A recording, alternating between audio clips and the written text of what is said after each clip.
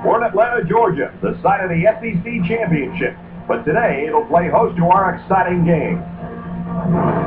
Hi, everybody. I'm Brad Nessler, along with Kirk Herbstreit. Erin Andrews will join us from the sideline shortly. This presentation of college football is brought to you by SPARQ, because better athletes make better football players. Tonight we have the Georgia Bulldogs and the Crimson Tide of Alabama.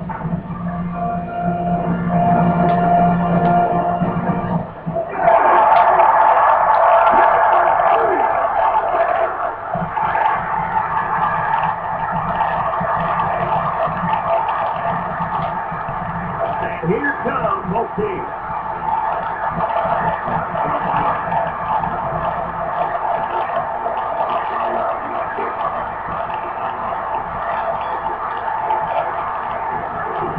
So Georgia, they got their work cut out for them here today. I look for both of these teams to come out playing strong, but when it's all said and done, I think the talent disparity here is just going to be too big. For Alabama, the quarterback's got to be first on their list of defensive concerns. Well, there isn't an area of his game that's not strong. I'm really excited to see what this guy does today. Now let's take you down to midfield for the coin toss, presented by SPARQ, because better athletes make better football players.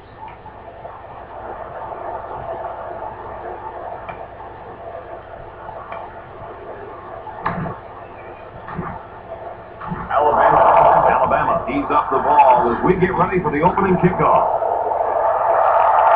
He a hold of that kick.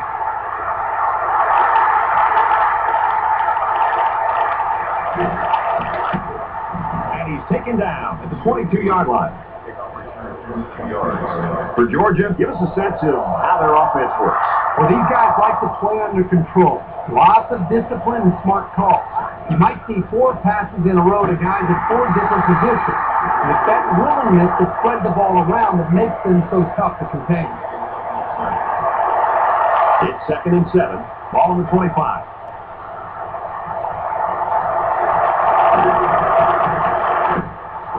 Fakes the handoff, and he's in trouble. Tipped away. It's a good play here in the secondary. When the safety commits, he needs to be there at the right time because he's the last line of defense. From their own 25-yard line. Third down.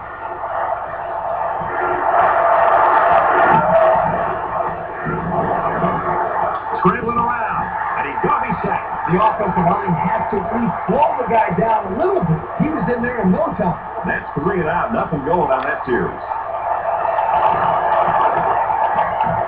It's away, and it's a booming punt.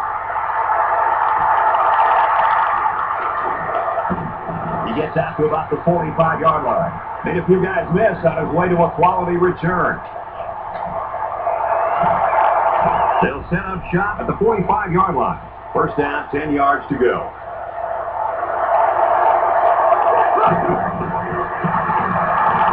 Give to the tailback. Makes it to the 37.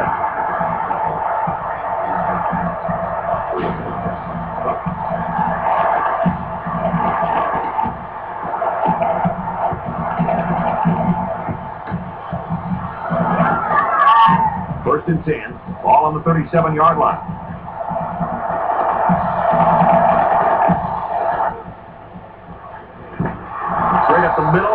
He'll lose. This defensive lineman's got the kind of size and strength where he can disrupt the play all by himself.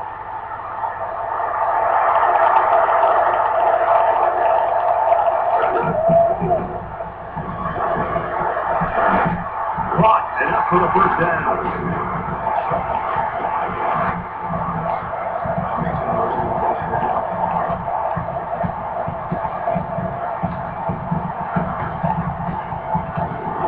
From the 24-yard line.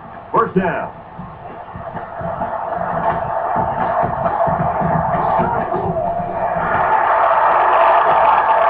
Fakes to the back. He rolls out to the right. Incomplete. Almost picked off. It can be tough making a play on the ball sometimes, but that's probably a pick he should have made.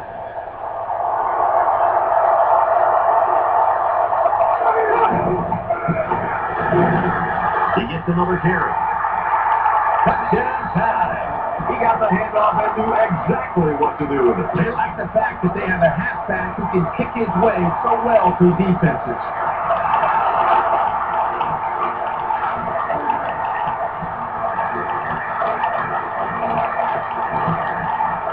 Andy taps on the extra point. So that's a five-play, 55-yard drive, and it's good for seven points. Brad, not only they put points up on the board, I think it's the way they did it. That could be demoralizing for defense. From his own goal line. Oh, he got nailed on that one. 24 yards. They'll take over the 25-yard line. First and 10.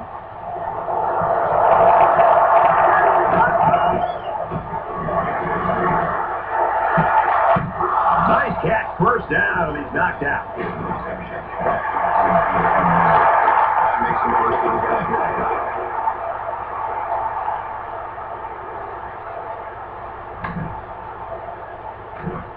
First down, 10 yards to go. Ball on the 41-yard line.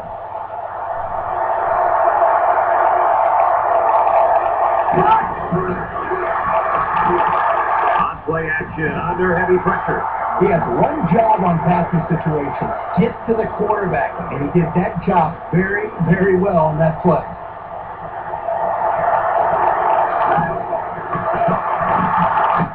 Runs it left for a decent gain. The tailback picks up six there on the misdirection. Third down now, and they need to get it inside the 49.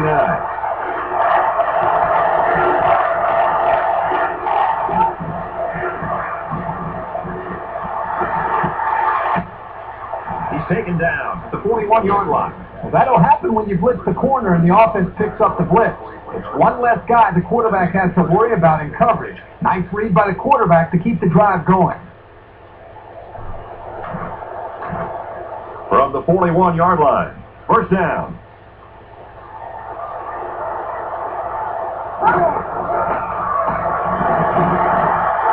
Setting up play action. Flares it and almost had it intercepted. Terrific coverage. And when you clog up passing lanes like that, you can force a quarterback to make some poor decisions. Almost got themselves a turnover, too.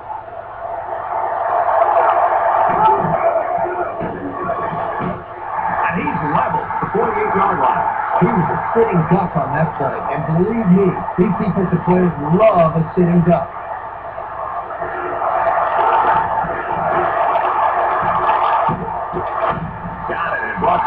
A five-yard gain. I like the play call here. Getting to the receiver on the screen, he has blockers in front, and he's turned the play to a nice little gain. Booming kick.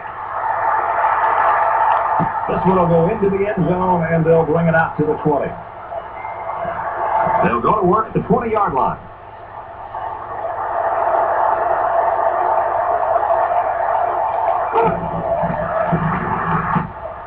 Off, and not much room there. They try to work the left side. The running back gets a yard, maybe less. Alabama is up seven.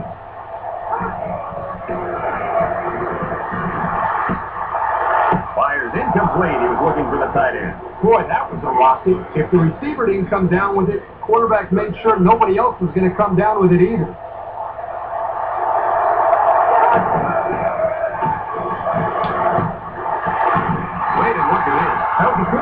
Good reaction to the linebacker.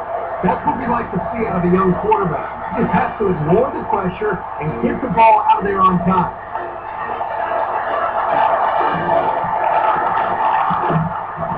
Nice run, and he's brought down. From their own 43-yard line, it's second down.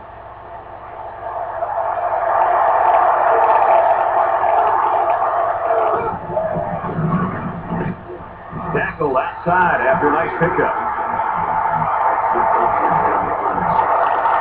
They'll line it up again on third down.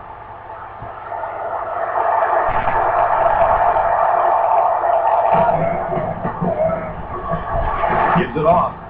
Takes it out to about the 43. The defense is having a difficult time stopping this drive. Right now, they're doing enough to be in situations they want to be in, but they have to finish the job. And the plays start to add up, so we'll have to see if this defense starts to look tired out there. He guns it. And it's the senior. And he's tackled at the seven-yard line. Perfect time for the play-action pass. Well, Here the defense is looking for the run, and the play action put him in even a worse position. They just weren't ready for the pass there. And that'll be the end of the first quarter with our score. Alabama 7, Georgia nothing. Thank you.